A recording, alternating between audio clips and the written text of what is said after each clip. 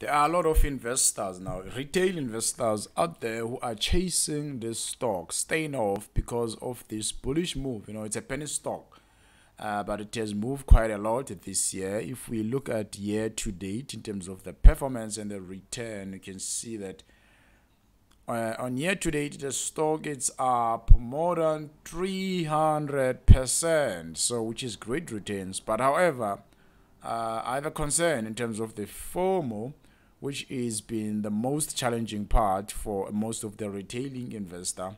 They have this habit, you know, this tendency of chasing stock, you know. Right now, as I'm speaking, there's people who are still buying the stock, and you can see here it has moved vertically upward. By the time you buy here, you are already late.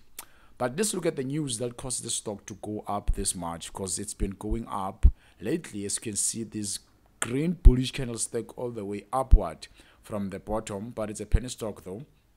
Now, there is news uh, which just came about Steinhoff anyway. They've been there. Probably some of the investors, they've been waiting for this news, you know. Uh, because previously there were some of the investors, uh, the former Tekkie Town owners, uh, which were the investors of the company Steinhoff, they launched a court case against the retailer earlier in the year in a bid to have it placed into provisional liquidation. So this is according to this article from News 24. So these investors they wanted the company to be placed under liquidation so that they can cut their losses and move on, you know, because as you can see from the chart, this stock it used to be one of the best performing companies. It used to, to trade around uh, more than 90 rand per share, but then it collapsed all the way to uh, uh, almost uh, 8 cents, which is bad. But now currently it's been getting this positive news backward because of why? Because of this piece of news here, whereby now uh, Steinhoff and these investors they kind of found a deal after you know uh, the, after a battle into into the court, you know, uh, with a lot of um, appeals and postponed to the court. Finally, uh, Steinhoff and these former tech own investors they kind of find a, a, agreement at the end, whereby now it's stated here the former Tekkie Town owners will drop their legal challenges, including the liquidation bid, in return for 500 million and the delivery of 29.5 million shares in Steinhoff subsidiary Pepco. So they will get this cash, 500 million, and then they will also get 29.5 million shares uh, in Steinhoff subsidiary Pepco, which is a uh, Pepco, another company which is owned by Steinhoff. So they will get to 9.5 million. So this is the part of their deal. It's one of the parts of their deal. Now, uh, this is kind of now positive news since that now the company it won't be placed under a provisional liquidation after this deal with these former investors, which were the one actually initially uh, actually um, you know opened a case you know to demanding that the company should be placed under professional liquidation according to this article according to the statement here so this is kind of the news, you know, the positive news to the stock. Now, as you can see, we have this bullish movement of the stock pushing upward and then retail investors piling up, you know, those ones who buy because of the stock is going up. You know, there's those retail investors, they buy the stock because it's going up, or they buy because someone else is buying without any reason, without any um, following a, a particular strategy with their own research. All right. But this channel is there just to guide you, to highlight you, you know. Uh, none of the content which is provided here, guys, uh, should be used as financial advice. All right, I'm just doing this for educational purposes only. Remember that. Now, this has been the news which has been driving Steinhoff lately. So you can find the article online um, on uh, News 24. As you can see, uh, Steinhoff shares jumped 20% after creditors back deal with Teki own Tekkie Town founders. I mean, all right. So but the question that you should be asking yourself as a retail investor is this a good company? Is it a company that you can buy and have a peaceful night? You know, there's those companies that you can buy, but then, I mean, you keep on thinking about that stock because you know the company is just um, a garbage stock, you know, based on the fundamentals. To answer that question, if it's a good company or not, let's take a look at the financial statements of Steinhoff because in terms of the price action is going up, what everyone is chasing, chasing, chasing, chasing, you know, chasing, especially the retail investors. But if it's a good company, let's take a look at uh, the financial statements after they've kind of uh, you know, uh, found a deal with those investors who demanded that the company should be placed under provisional liquidation. Let's find, let's take a look at the financial statements first. And then before we even go here, one thing that I, I always ask myself, uh, when I buy a stock, if there is a catalyst about the stock, I ask myself if this catalyst is it adding any value in terms of the revenue, the net income of to the company. So so far for Steinhoff, I don't see anything that actually will add positive uh, value on the financial statements of Steinhoff in terms of their revenue, their sales and stuff. They are still struggling, but the news it's positive as uh, for for for traders actually for investors. Yeah, a little bit, but for speculators it's quite good because you could have made a lot of money if you were trading the stock all the way upward as it moves.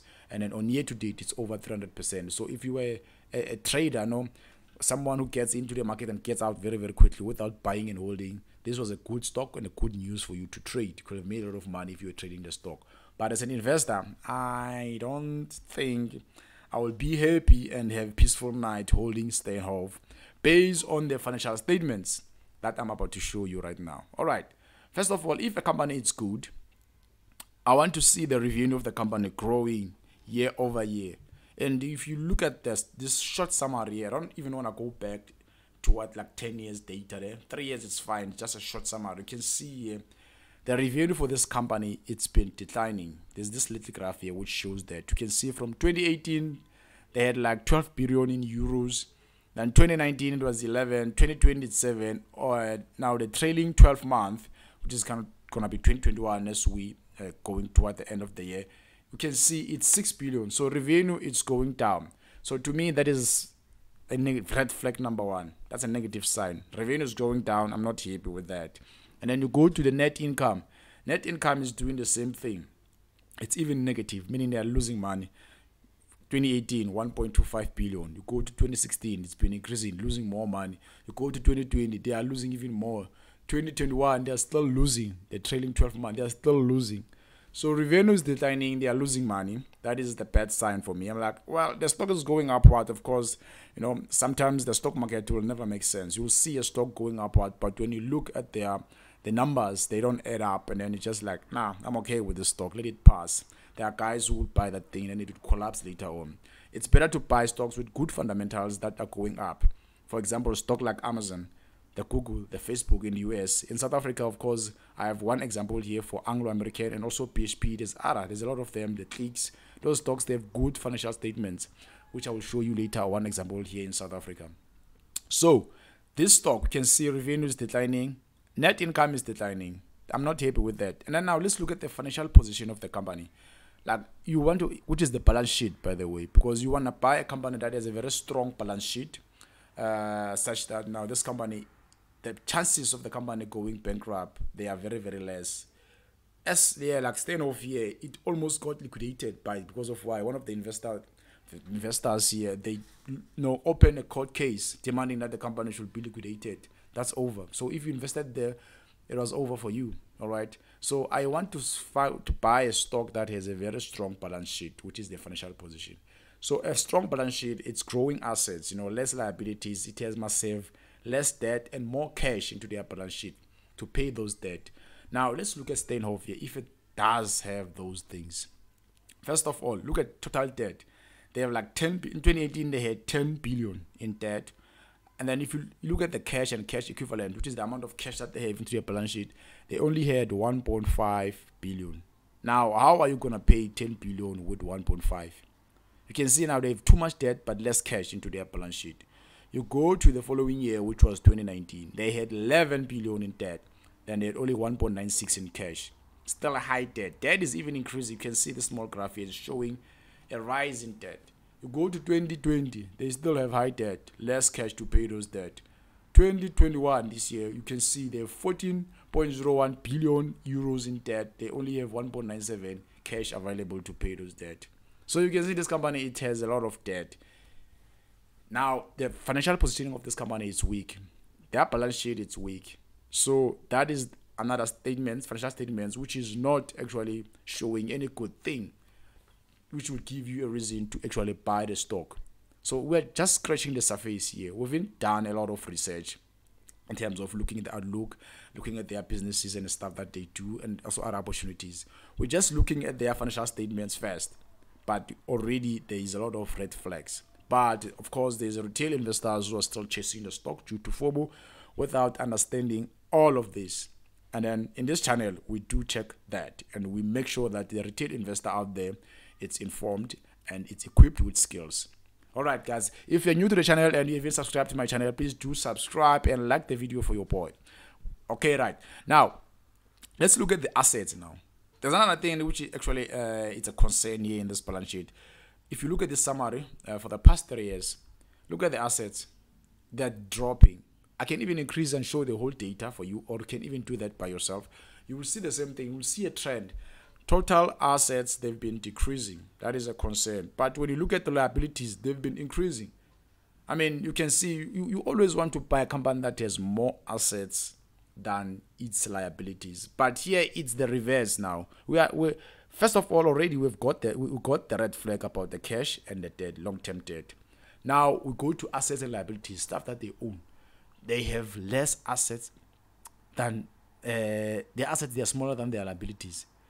Look at here in 2018, at least they had 16.37 uh, assets, then they only had 15.73 liabilities, but that was too close. And then you, you, you go you go to 2019, they have 14.6 billion in assets. Their liabilities now they're starting to jump to increase now to be more than what, to be more than their assets, their liabilities. That is a problem. Now they have 15.70 liabilities, but 14.60 billion assets. Now they have more liabilities than the assets. That is a red flag. And then you go to 2020. Yeah, the assets keeps on decreasing, but liabilities keep on increasing. They have 13 billion in assets. Then they have 17 billion in liabilities, the stuff that they own. That is the problem. You go to 2021, they have 14 billion, 0.11 billion in assets. Their liabilities, they are 18.14. They have 18.41 uh, billions in liabilities. So you can see uh, even this short graph, line graph here, it shows you that the liabilities of this company they are increasing, but the assets they are declining. They have a lot of debt. They have less cash to pay those debt. That is a red flag. And then you go to a third financial statement, which is the cash flow statement. You look at the cash flow from operating activities. Well, yeah, it's doing quite well. It's improving. Then uh, when you look at the free cash flow, of course, not bad, but the other two financial statements they are worse in terms of the, posi- the, the, financial position of the company because you want to buy a company with a strong balance sheet. And also, the company must make money in terms of the revenue and the net income. But so far, none of that is happening with this company so far. So far, is I will classify it as a company that I will not add into my portfolio because I won't have peaceful night. But remember, this is my opinion, and none of this here constitutes uh, financial advice. I'm just doing this video for educational purposes. So I won't be happy. I wouldn't be happy, and I wouldn't sleep well at night owning this stock, even though it's going upward. I know short-term stocks can be crazy. They're irrational. You know, they can go up without any support in terms of the numbers and the fundamentals due to because of why they're driven by emotions. The people who buy stocks is human beings. They have emotions. They buy for different reasons, they sell for different reasons. Your job as a retail investor is to find good companies that are mispriced due to these emotions and you buy them when they trade below their intrinsic value and then you profit as they realize their true value over a long period of time all right? But there's also stocks that have no solid fundamentals. They just go up and down driven by emotions driven by uh, human beings you know with this irrational decision making. So of course this is one of the stock that will, you will actually think that it is a good company. It's going upward and then you don't want to miss out. And then you just find yourself jumping in because of FOMO. Then all of a sudden this thing crashes back all the way downward then you lose your money because that kind of investing it will never make you money over a long period of time. You might have made money because the stock is up 300% this year and then you think that you're a genius. Remember the market can also you can also pay you for doing dumb dumb stuff you know. It can pay you for doing dumb stuff but over a long period of time it will punish you. All right? Always remember that. Now let's look at the stock one of the stock that i own when i created my portfolio actually um around uh, october you know i bought the stock and then already i am up by 25 percent on my investment buying the stock here which is a mining company anglo american platinum which it has now the opposite of Steinhoff in terms of the financial statements. Just to clarify the bad side of those statements compared to the good side now of another good stock. Now I own this stock. I bought it around October and I'm already up 25%, which is Anglo American Platinum making good money there. So if you look at the revenue from the income statement of this company, you can see it's increasing. Look at this, it's increasing year over year. 2018 74.5 billion rands, and then 2019 99.55 billion rands, and 2020 137.79 billion rands. Trailing, like the trailing 12 months now, currently 2021 is 190.55 billion, increasing year over year. Of course, this is also supported by what? By high prices of what? Of the PGMs. You know because they are mining PGMs, this guy. So prices are quite doing well. So it's a good time to own this stock for now. And then if you go to the net income, it's also increasing. Look at the net income here. It's increasing 6.8 billion, 18.5, 30, 70. That is like highest growth of this income. If you look at the growth in terms of the percentage, these guys are growing at more than 20% in terms of the net income. The graphs are increasing. The earnings per share increasing. EBITDA, which is um, earnings before interest, tax, depreciation, and amortization increasing. That's nice. You can see net income is increasing, revenue is increasing. So this is a stock that I will be happy to own it, and I, will have like a peaceful night, having knowing that I'm owning a stock that is making money. And then if you go to their balance sheet, you will see the same thing. Total assets they are increasing. Even their liabilities are increasing slightly. But when you compare in terms of the size of their assets and liabilities, no, they have more assets than liabilities. Look at this 89.29 billion assets, only 41.95 uh, in liabilities. 104 uh, in 2019, they had 104 in terms of the assets, they had 43 in terms of the billion, in terms of the, um, the liabilities, I mean in billions.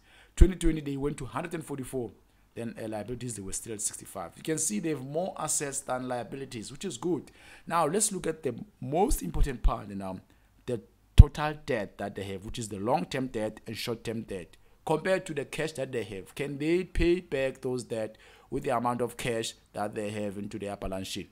That will determine if this company actually has a very strong financial position.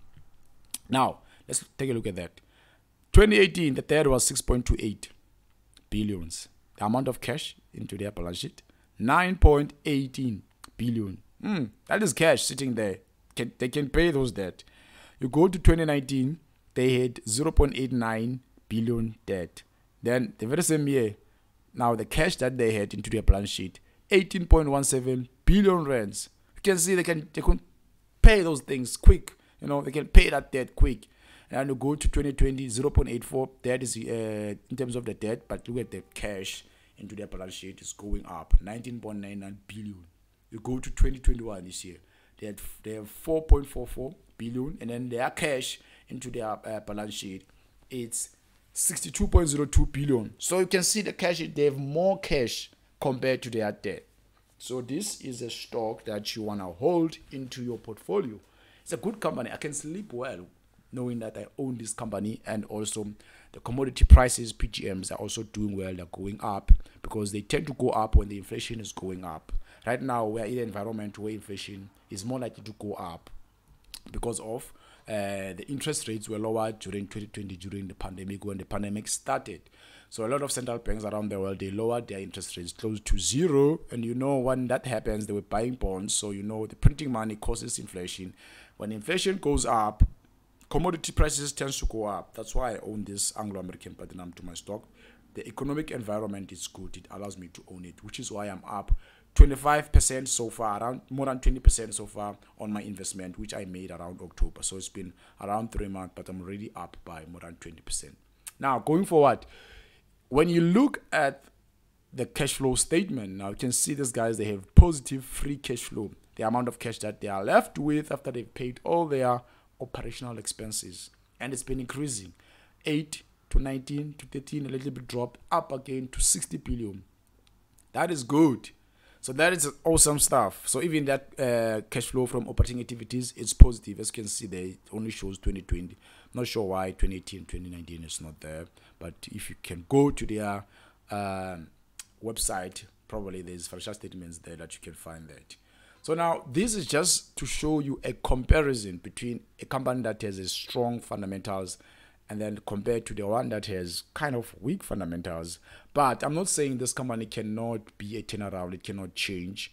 But I wouldn't buy until I see that change on their financial statements, until I see assets increasing and then liabilities decreasing until I see the amount of debt level going downward and the amount of cash that they have increasing. And then until I see a positive net income, until I see them making profit and making good revenue, revenue increasing. That's when I'll take a look and say maybe Steinhoff we can talk now. But for now we can't talk and this is Steinhoff. All right. But if you like the stock, it's your own business. It's just just my opinion. Remember, uh, none of the content here constitute as financial advice. I'm just doing these videos for educational purposes only to inform uh, to help some of the retail investors out there, especially those guys who are new to investing into stocks. With that, guys being said, I will see you in the next video. I hope you enjoy the video, and if you have not yet subscribed to my channel, please do subscribe and don't forget to click the like button for the YouTube algorithm so that these videos can be shared to more people out there who are new to stock investing so that they can get this knowledge. All right, I will see you in the next video, guys. Bye. Peace.